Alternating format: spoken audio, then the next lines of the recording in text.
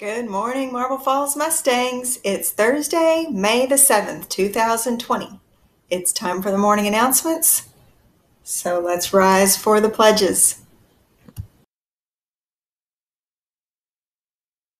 I pledge allegiance to the flag of the United States of America and to the republic for which it stands, one nation, under God, indivisible, with liberty and justice for all. Honor the Texas flag. I pledge allegiance to the Texas, one state under God, one and indivisible.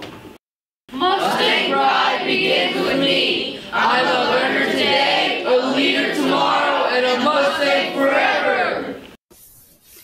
So happy Thursday, guys. I hope everybody's doing well. You've made it to the last part of the week and um, just got a good workout in. Makes me feel good. Got outside and moved my body some, so I'm ready to start the day. And I guess this guy was in here playing with all the all his stuffed animals while I was working out. Anyway, uh, just one birthday today. Happy birthday, Zoe Winger. I hope you have an amazing birthday today and get to celebrate in a special way on your special day. So, today is the National Day of Prayer, which um, I'm going to read the official statement on it. The National Day of Prayer is an annual day of observance held on the first Thursday of May, designated by the United States Congress. On this day, Americans are invited to give thanks in accordance with their own faith and consciences for our many freedoms and blessings. So, as we've talked about plenty, this has been a weird and wily time. It's been a lot of ups and downs.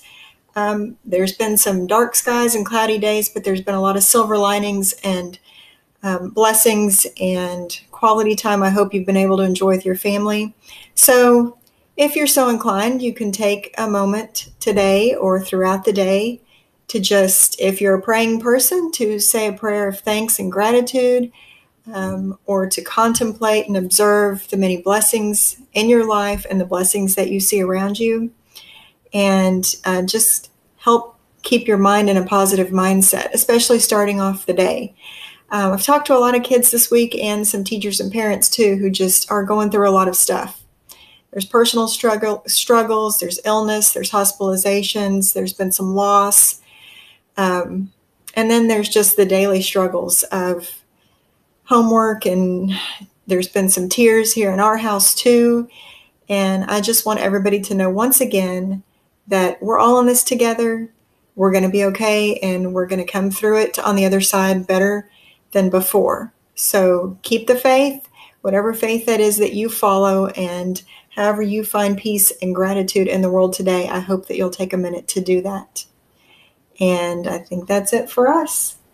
We'll see you in the morning for a fantastic Friday. So have a great Thursday and a wonderful rest of your day and go get a Mustangs.